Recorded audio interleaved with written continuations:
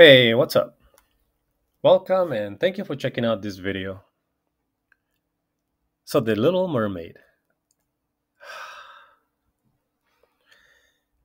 I really wanted to like this film. Red she tried to warn me, but I didn't listen. I tried to stay as clear minded as I could. I didn't listen to all the YouTube hate and all the backlash that the movie was going through. Plus, I never saw the original, so there was always that chance, right? That maybe it'd be good enough to see on a standalone. But you know, I, I did have my doubts, of course, just from watching the trailer and seeing the very obvious, or excuse me, the very subtle change that Disney made on Ariel. And I don't know. I mean, I don't know if I see a difference between the two. Do you? Hey, at least they're both mermaids, right? Or are they? I don't even know anymore. Anyway, I'm not going to trash the film, but I do want to be honest, and I do want to see if I can shine a little bit of a different light on what's happening. Now, I do enjoy animations a lot. Puss in Boots is my favorite film of 2022 by a long shot. We watched it maybe four times, at least three times, maybe four times last year. Now, we don't have kids, but I do have a new nephew and he's growing up pretty fast. And I would love to see the day where I can actually add him to our AMC A list entourage and we can become three. And I would love to have him come around with us and watch movies, share our popcorn, and have a good time. I look forward to that day, so that's why this is important for me to speak about. So let's talk about it. Now, to be clear, no, I did not enjoy the film much. I actually fell asleep like three times, and that's very rare for me. There is a lot of hate. There is a lot of calls for the flopped, and you know they hate it and stuff. And again, if I show you like some of the headlines when you look up for reviews, right? Most of them are going to be horrible, finishing under 500 million, and they seem to be enjoying it. I really like the thumbnail though, the original one calling for the flop. Um, very fishy because reviews are being faked apparently. Little Mermaid star meltdown. His face doesn't look so happy with the review. Let's talk about it. It's it's as bad as you think. I mean, that's kind of harsh. You know, his face when watching and watching it. This is bad. There are so many, right? You get you get the point. Absolute bilge. This is the worst. What went wrong? Disney panics. Uh, does it ever end, right? It, there is so much bombardment, and it's justifiable. I don't think it was that bad, but you know, I can see why this is this is happening. So let me show you. Let me show you this though, because as much as there's so many that hate it, I want to show you one that likes it, right? No problem. Hey guys, what movie did you just see? The Little Mermaid. The Little Mermaid. Okay, how'd you guys like it? It was a 10 out of 10. Best 10 out of 10? year. You agree? Yeah, it was really good. Oh, would you give it a favorite part? Like maybe a favorite part in the movie? Favorite favorite song? Part of your world, because you know it eats. Yeah. yeah. Awesome. Thanks, guys. Okay, so these kids look very happy, healthy. They had a good time, smiling. They got their uh, popcorn and drink, and they have the posters. Why not, right? It really is about them anyway. So this is why I don't want to be like complete hatred type of review, because I'm keeping them in mind. I can tell you, for example, that when we were watching it, we had a full theater. It was so full that we had to sit way in the back in the handicap section. And when the movie was over, there was a standing ovation, not a not a really loud one and not a weak one either. It was like a, a pretty good clapping and cheering. And during the whole film, there were a lot of children who were laughing out loud and genuine laughs too, like um, something that happens on the movie. So how can I sit here and criticize and say like, you know, yeah, it's horrible this and that when you know a lot of people did enjoy it, right? It's just because I personally didn't like it, I don't think it's like a complete failure. I mean they're trying something here but i am going to speak about that. In a way it also it does worry me because it really feels lately not lately it's been a while that disney has been trying to push something on us and it's getting to the point where it's is it dangerous i don't know i don't want to use the words grooming or brainwashing our our young kids and young people but it really feels that way if you look back to the latest releases, for example, I mean, they have Buzz Lightyear, which went through controversy. They have The Strange World, which is absolutely horrible, and probably the only other film that I fell asleep three times. Now they have The Little Mermaid. And coming up is Elemental, which I don't foresee it being much different. It's probably going to have some backlash, at least from what I've seen on the trailer. I'm still on the fence whether we're going to go see it or not, but very, very iffy. Not to mention everything they did to Star Wars and MCU. Don't get me started on that. But it's pretty obvious that they're pushing something, and we know what it is. When you compare it to films from DreamWorks, for example, like The Bad Guys was a great movie. In case you haven't seen it, that was a great animated film. You know, they had the Minions, of course, Puss in Boots that I said, and you know Mario, of course. So can we ask, is, is Disney dying? Um, it's a fair question, right? I mean, they're getting outdone by smaller companies with much lesser budgets.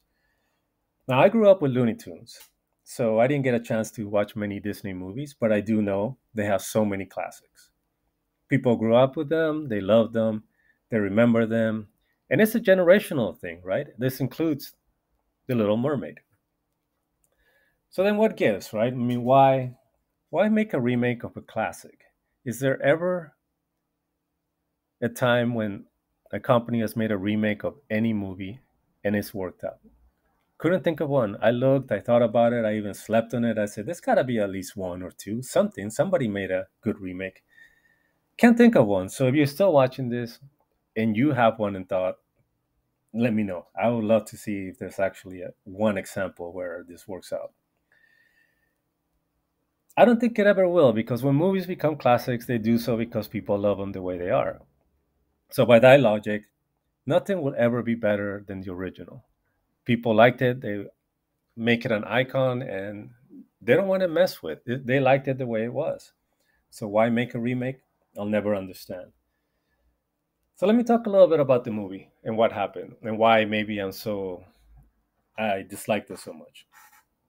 But let me tell you, like, I don't fully blame Disney. Ultimately, it is their decision to do what they do, yes so it is their fault. But I believe there's bigger actors and bigger evil entities that are controlling what we're watching. Um, about the movie, I mean, look, Disney was already under heavy fire because of the decision to change Ariel's look in a big way. So now I went to see it first time, first time watching The Mermaid. So I try to be as neutral as I can, turn the other way. It doesn't matter to me. Show me if you have a good movie.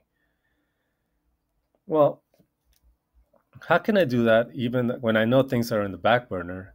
But then the first scene that you show me is the sisters and Triton, right? Now, this is how the original sisters look. Now that I had to do a little research, of course, it makes sense. Triton is a white mermaid or merman.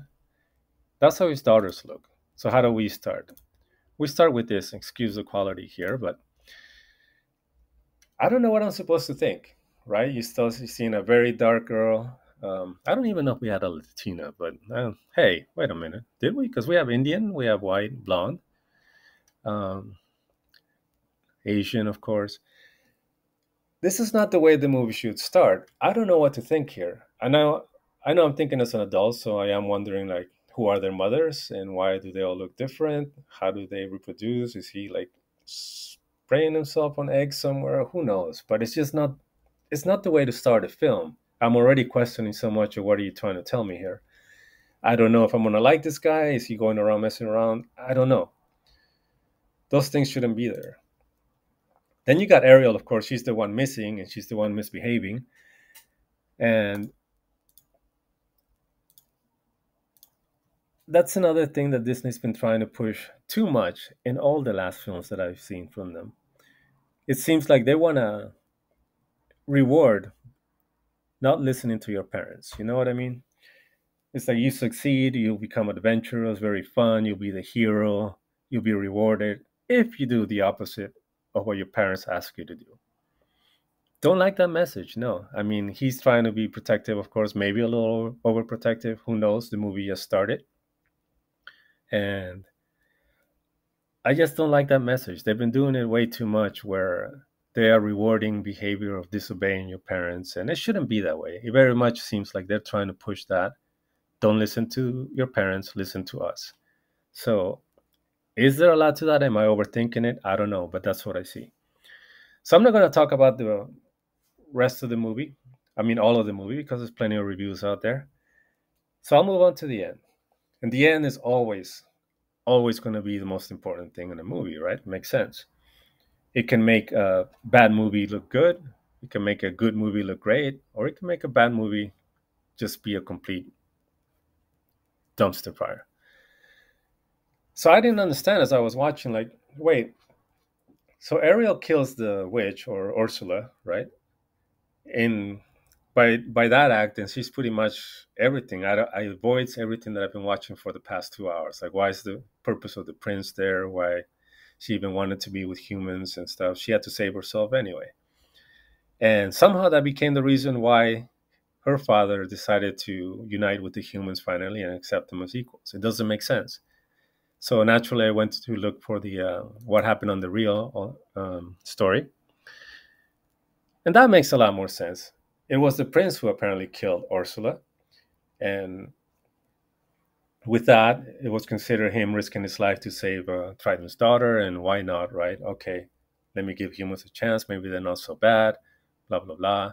Hey, hooray, that's how the movie should have ended. And that's how humans and mer- mermaids and mermen become friends.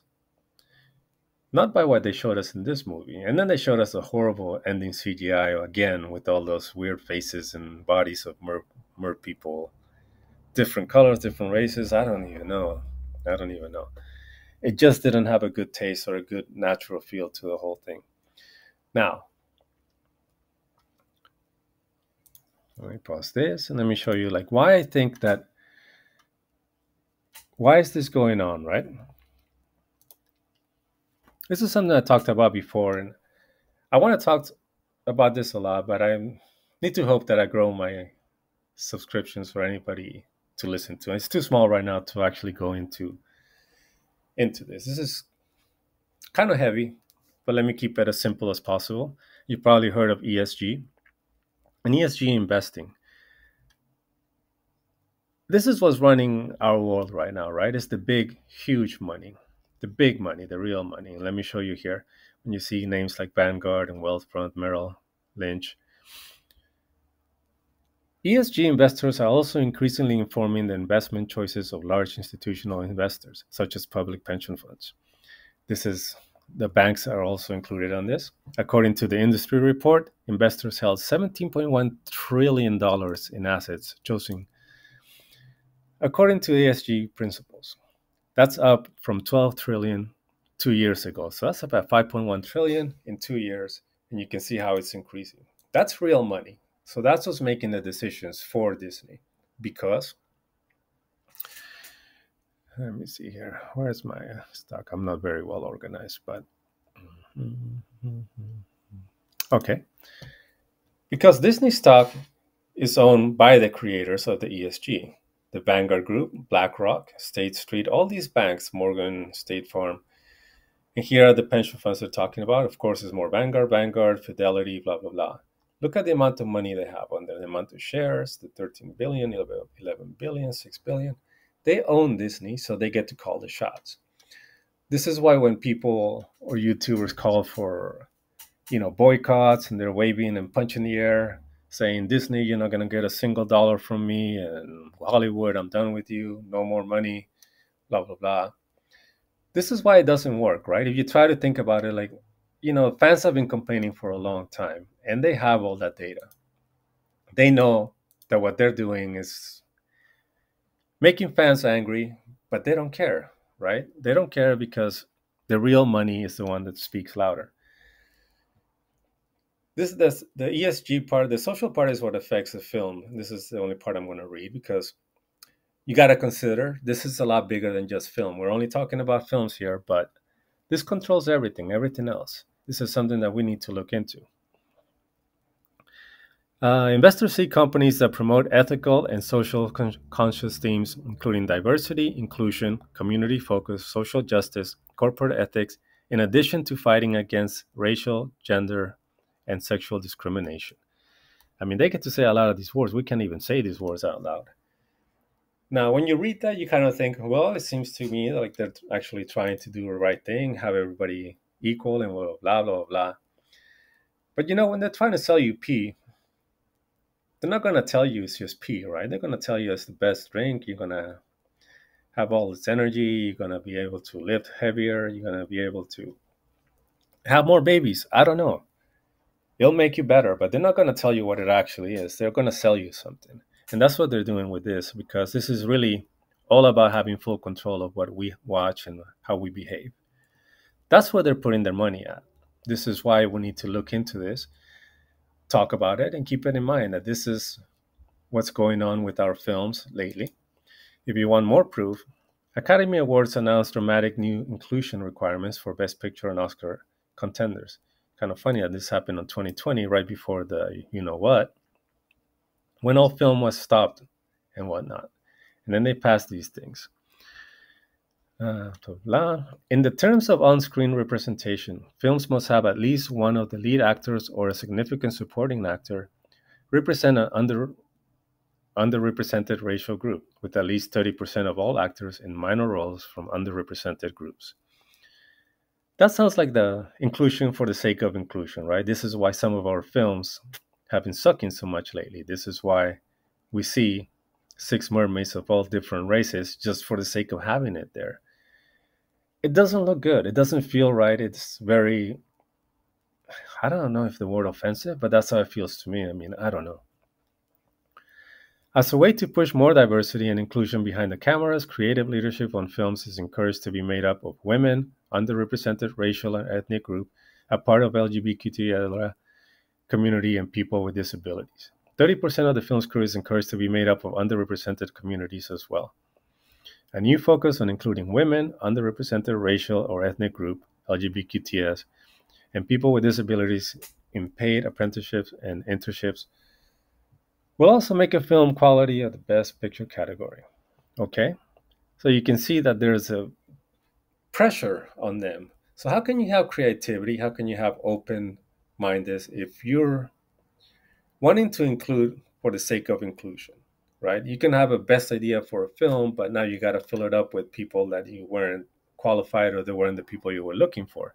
That's why we're seeing so many movies with so much like not weird pairs, but they're just not matching. They just feel like, you know, they're just there for the sake of being there and they don't have chemistry. And I don't really like what I'm seeing lately with a lot of the films, but you know that's why it happens this uh, i wanted to address because uh, some of the criticism that was going on is how bad little mermaid is doing overseas which is very true you can see 145 domestic that's us 78 only internationally and you might think that doesn't sound bad. Right it's doing pretty good compared to fast x? It's only doing 119 domestic and 405 international. This shows that pretty much the rest of the world doesn't agree with what's going on. They don't even want to watch it. They're not interested. Um, that's what I wanted to point out as far as like what is going on with uh, the films. I don't like it. I hope that Disney fixes it. I'm not looking forward necessarily to Elemental, and I'm really hoping that the Marvels is the rock bottom. All right, so that's it.